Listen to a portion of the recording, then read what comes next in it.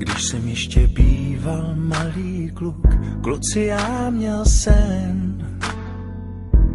Sníval jsem ho každý, každý všední den. Jednou dne v neděli, když naši za babičkou odjeli, pátral jsem v mámiňách šatníku. Střevíce padly k mému kotníku, teplý letní den. Venku jsem si motýlí, řekl jsem si po chvíli.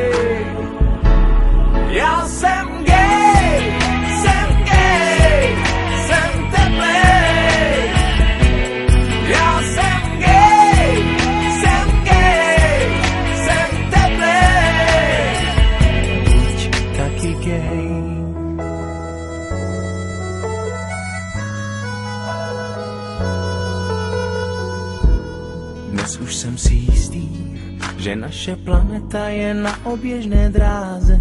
Teplej květ, teplej je i vesmír, však i Antarktida roztaje již za šest let. Slunce svítí každý den, tak neváhej a pojď se mnou ven, podívejte pláží bez i rostlina. Vždyť fotosyntéza by bez nás nebyla, venku samci pilují, řekněme si po chvíli.